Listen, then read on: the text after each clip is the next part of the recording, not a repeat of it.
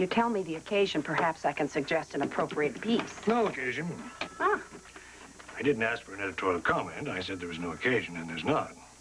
What's your best piece? These emeralds are the best. This emerald and diamond brooch is stunning. And as an investment, it's unbeatable. How much of an investment is it? 2500 But truly, it's underpriced for the quality of the stones. I'll take it. That'll be 2575 with tax.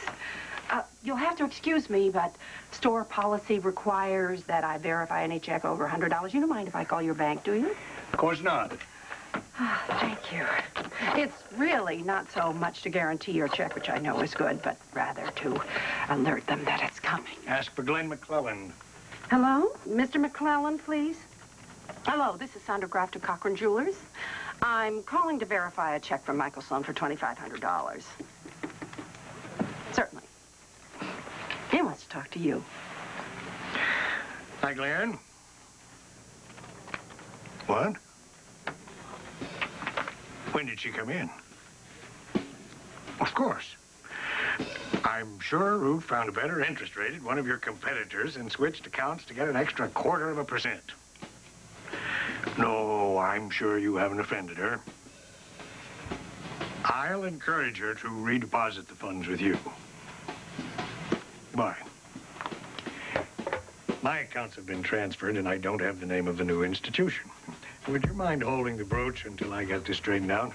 Not at all. Thank you. Now, if you'll excuse me, I need to get back to work. I'll wait to hear from you then. Yes. Thank you for coming over.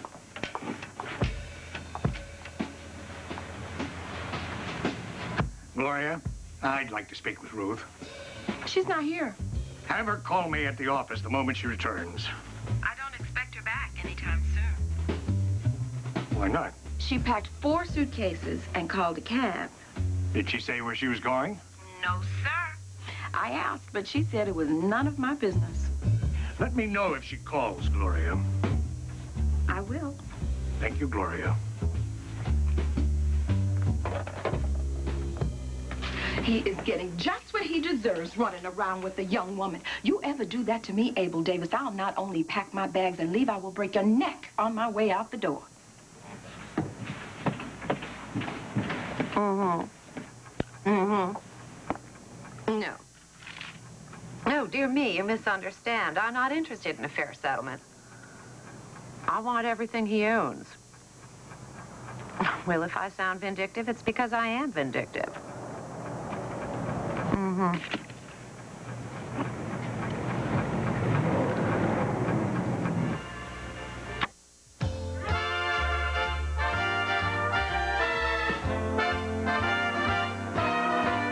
You got to accentuate the positive, eliminate the negative, and latch on to the affirmative. Don't mess with Mr. In Between.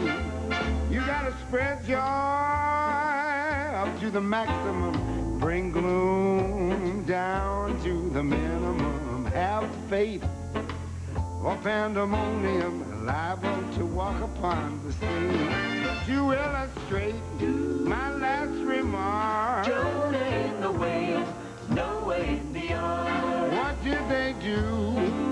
just when everything looked so dark?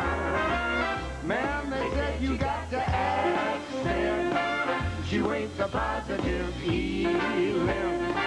Money's the negative and latch on to the affirmative. Don't mess with Mr. In Between. No, don't mess with Mr. In Between. No, don't mess with Mr. In Between. No, don't